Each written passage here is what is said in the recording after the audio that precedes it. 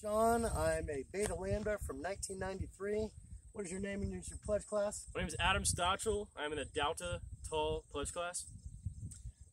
And what year? I'm a senior at Ball State. Currently, okay. Currently a senior. So yeah, I'm currently a senior at Ball State as well, Delta Tau, Russell Chain. And what is your position? I'm currently the alumni relations chairman. All right, and this is how this whole thing started. Russell posted, what could alumni do to get more involved? We talked about the concept, interviewing the alumni on their life stories up to today, and some favorite stories of the past. We already have over 50 connected to the website at Voices of SE, and it's a fundraiser. And what do we do with the money? The first part of the money? Yeah, we were able to repaint our whole sidewalk, add letters to our sidewalk, buy new lines, and paint them gold. So we're going to keep doing things to help the house, and we're out here at Purgatory Golf Course today for the annual alumni golf outing.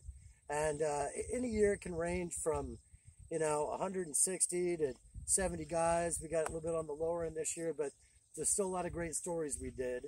And uh, we interviewed you as well. Is that right? That's correct. Yeah. What would you think about being interviewed as an active? I thought it was a great experience to get my story out there for the uh, older alumni to hear what we're currently doing at the house uh, in 2021. Did you listen to any of the other active interviews? I did, and I heard a lot of great stories about how the fraternity has changed from then to now. Okay, and what when we first started this thing to where we're at now, just just say a few words on kind of the progression and and how it's flowed and Oh. just what you think. It just it honestly just started with a phone call with Sean. Like he saw my post and he reached out and it was a couple text messages. And he's like, "Hey, let's just have this phone call." And we probably talked for over an hour, just spitballing your idea about making this happen. And this just started with a small idea about how to connect actives with alumni and alumni to reconnect with their other brothers. And now it's just blown up into this huge website. Yeah, and I think that the long term right now we've got 1300 in a in a Excel spreadsheet. We have partial contact information.